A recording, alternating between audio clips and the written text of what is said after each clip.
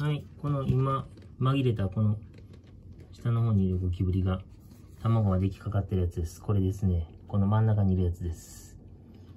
ですから、この1匹を生かしておくと、えー、黒ゴキブリがたくさん孵化して、えー、たくさんの黒ゴキブリの成虫になるということですね。えー、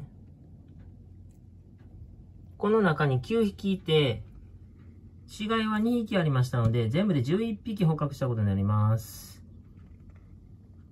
ちょっと負傷して、させて怪我をさせたものもあって、諦めたものもありましたが、まあ11匹捕獲して、えー、まあ負傷のためか2匹死んで、9匹生きています。で、その他に、なんかこうやって見ると、4匹ぐらいいますね。この茶羽ゴキブリか黒ゴキブリ、えー、森茶羽ゴキブリの幼虫のようなものがいます。これは黒ゴキブリの幼虫ではないんですね。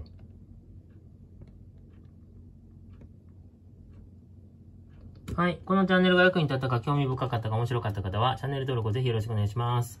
できましたら高評価もよろしくお願いします。